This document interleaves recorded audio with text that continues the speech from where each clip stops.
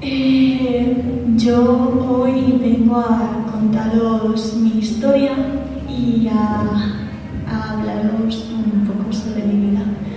Eh, pues para que así no tengáis que pasar por lo mismo que tuve que pasar yo.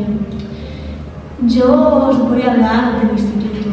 Para algunos, pues la mejor época y para otros la peor. Eh, yo os voy a hablar de Félix. Él era un chico dulce, encantador. Y desde que lo conocí, poco a poco nos fuimos enamorando. Hasta que eventualmente, pues, nos hicimos pareja. Y al principio todo era tan romántico, todo estaba tan bien.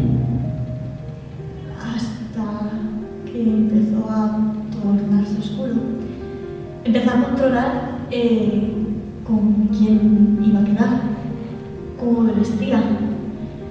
Incluso me empezó a separar de mis seres queridos.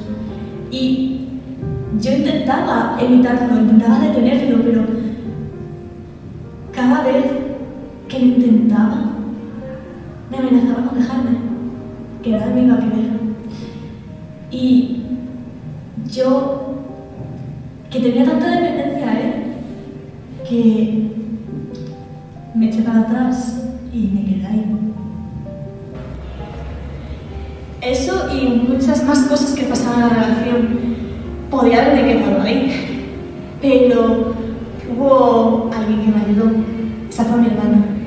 Ella me hizo darme cuenta de la gravedad de la situación, yo no podía estar así. Ella fue la que me ayudó a reconciliarme con mis padres, que me ayudó a ir a terapia y reconciliarme también con mis seres. Pero lo más importante es que me ayudó a coger valor y separarme de Félix. Y por mucho que en ese momento sintiera como que me arrancaban el corazón del pecho, a día de hoy soy feliz. Y es por eso que os cuento mi historia, para que así no cometáis los mismos errores que yo.